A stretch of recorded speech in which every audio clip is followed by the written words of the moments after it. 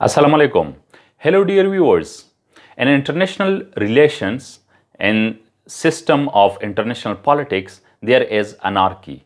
That no central authority or the world government exists which can control actions and reactions of the states. According to realist school of thought in international relations, there is uncertainty and this uncertainty gives rise to so many conflicts and disputes among the states. Self-help system is there that every state is responsible for all of its actions and security. So survival is the main agenda of the states. There is misperception, miscommunication, and sometimes even having no communication.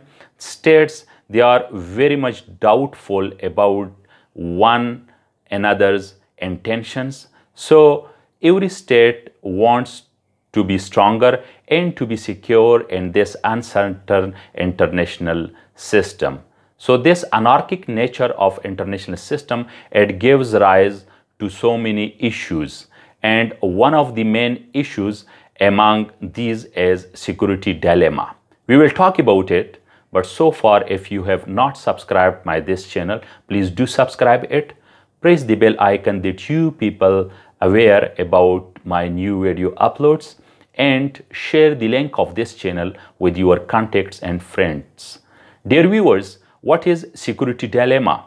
Because of this misperception, when states they are doubtful about the intentions of each other, when states they are distrustful with one another, then states they want to be secure, want to be stronger, they want to build huge militaries and they want to secure its territory, people and having sovereign nature.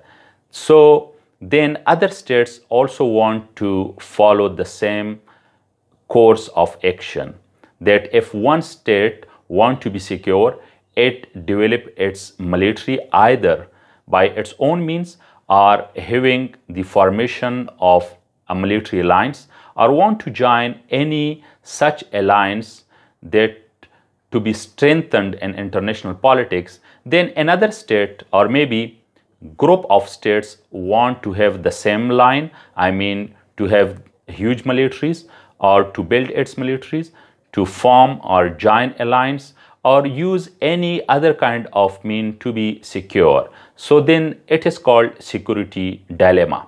The term security dilemma was first coined by German scholar John H. Herz in his 1951 book political realism and political idealism.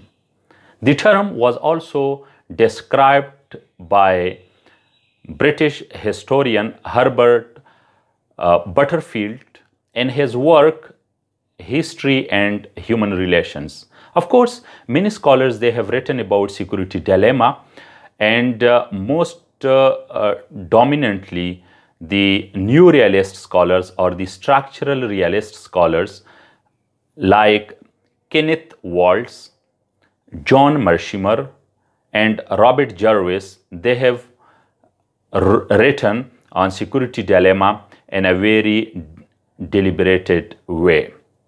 So the arms race, the alliance formation, the alliance strategies, all of these are the uh, various ways that states want to be secure and it is because of security dilemma.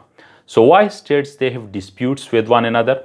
Why states they have conflicts and states and leaders they want to go to, into war because of this security dilemma.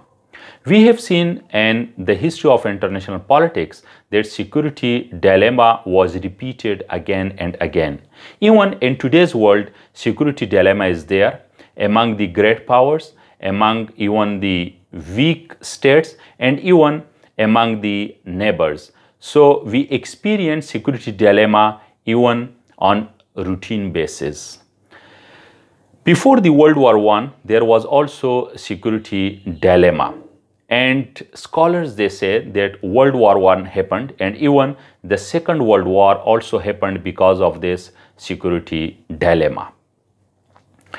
there were alliances and when there is a break or uh, when there is no fulfillment of commitment into alliance then of course there is disturbance and the exclusion of any state from an alliance. It also disturbs the existence and capability of other states. So it may uh, make other states weaker. Then there is possibility for another belligerent state, rival state that it will attack on the weaker states. So the same thing was happened during World War I and also in the Second World War. Arms race, that is a glaring example of the security dilemma. It was very much there in the Cold War period, especially between the United States and the Soviet Union. Half they were developing their not only their conventional weapons but also the nuclear arsenal. Then of course they also went to sign agreements with one another and to prevent world war or to secure the world from nuclear weapons. It worked little bit but not completely, not 100%. So the arms race uh, between the two superpowers in the Cold War period that was because of security dilemma. The North Atlantic Treaty Organization, NATO, and the Warsaw Pact formation, the two alliances in the Cold War period, that was also due to security dilemma. The ANZUS Treaty among Australia, New Zealand, and United States, SEATO, Southeast Asia Treaty Organization, CENTO, Central Treaty Organization, and so many other such kind of treaties, even bilateral security arrangements and treaties uh, among the states. All of these are examples of security dilemma that why states they want to have alliances with one another and they do sign such agreements. This security dilemma has been explained by uh, neorealist Kenneth N. Waltz. He says, uh, especially he stresses upon the defense realism. And what is defensive realism? Defensive realism actually is that uh, uh, a state want to be secure and of course a state will not initiate war. It will not go for preemptive uh, actions and uh, if a state develop itself, especially militarily, then it is the right of another state to be developed, especially militarily. So, to preserve itself and a state's wishes to be strengthened in international anarchic structure, then it is called the defensive side of realism or defensive realism. On the other hand, there is offensive realism. Another neorealist scholar, John Mearsheimer, he says that no, because of this anarchic nature of international system, then each state is not secure. Every state want to be secure because there is no guarantee from any side that a state will will be survived and it will maintain its security, territory and sovereignty. So every state want to build its military uh, that's why in such uncertain condition, then of course uh, there is uh, even states they go to the offensive side of realism and sometimes even going into war. So the main thing is security. If a state is secure, then there is no problem for having huge militaries or even going into war. Robert Jervis, another neorealist scholar, he says that this arms race, the arms competition and the alliance formation, that is because of the security dilemma, that security dilemma gives rise and gives birth to such tendencies among the states and international politics. There are three types of security dilemmas and uh, states they go for deterrence. What is deterrence? The capability of a state to prevent the attack of the rival state or enemy state that is the deterrence. The credibility, the potential of a state to secure itself from the attack of another state, the attack uh, of enemy that is the deterrence. So there are three kinds of deterrence. One that is the direct deterrence. What is direct deterrence?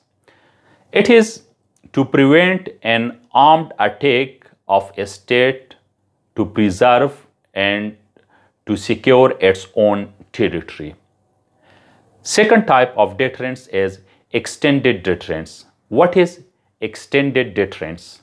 It is to prevent the armed attack of a state uh, not for itself but for the uh, to secure and to uh, to to protect the sovereignty and territory of another state maybe the the your alliance partner maybe the territory of uh, a friend's country. So that is extended deterrence. The third type is immediate deterrence. And what is immediate deterrence? That is to prevent the uh, attack, an armed attack for a short period of time immediately. That is the immediate deterrence. So this deterrence concept was there between the US and the USSR in the Cold War period and the same also is there here if we talk in South Asia between India and Pakistan. Arms race or arms competition not only in conventional weapons but also in nuclear arsenal between India and Pakistan that is going on, the missile firing between the two states that is going on. So this security dilemma, it also uh, motivates other states to do and to follow the same action as was done by a great power. The proliferation of nuclear weapons, that is also because of security dilemma. United States tested its nuclear weapon. USSR also did, France did, UK did, then China tested it in 1964. Then of course, there was already a border war between India and China in 1962. So then India tested it in 1974 and especially in 1998 in May when India tested uh, its nuclear arsenal, then Pakistan responded it with the same manner that Pakistan also tested its nuclear nukes, its nuclear weapons. Uh, because of the ideological tensions and because of the rivalry legacy of the Cold War, North Korea also followed the same course of action. North Korea developed its nuclear weapons, although there were then six party talks how to diffuse the tension between South Korea and North Korea and also between North Korea and United States. It worked little bit but not uh, forced North Korea to develop its nuclear weapons. So the development of conventional weapons, nuclear weapons, the arms race among the states, the alliance formation, the joining of alliances, using coercive diplomacy, the uh, threat of attack from another states, all this is due to the security dilemma. And main thing which is responsible for that that is the uh, anarchic nature of international system where realists neorealists new classical realists all of them they have talked about in a very comprehensive and detailed way. So dear viewers today it was about the security dilemma. I hope you liked the video. Uh, will present my views on other topics of international relations, international and national politics, and also on current affairs. Please keep watching the channel and take care.